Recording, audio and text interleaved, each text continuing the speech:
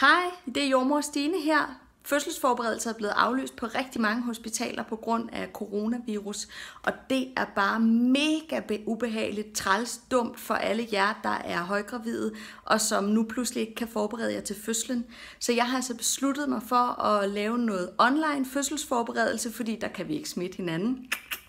Og jeg kommer til at gøre det den 23. marts fra kl. 10 til 12. Det bliver en live video, hvor I kan stille spørgsmål undervejs. Men jeg kommer selvfølgelig også til at gemme videoen, så I kan se den igen og igen og igen. Følg det link, jeg ligger her sammen med denne her video, sådan så at du kan se langt mere om, hvordan melder jeg mig til, hvad skal jeg lige gøre.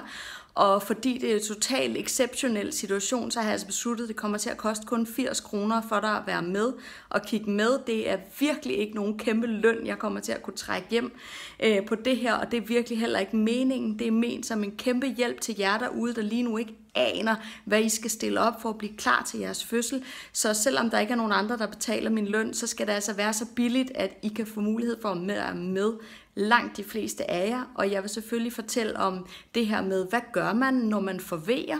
Hvordan kan man smertelindre sig selv bedst muligt? Hvad kan ens partner gøre for at hjælpe en?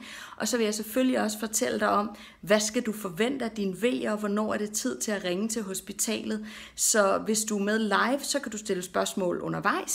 Og hvis ikke du har mulighed for at være med her 23. marts fra kl. 10 til 12, jamen så kan du stadigvæk melde dig til, og så kan du se videoen, når det passer dig. Og hvis du har set med live, jamen så kan du selvfølgelig også gense den alle de gange, det giver mening for dig.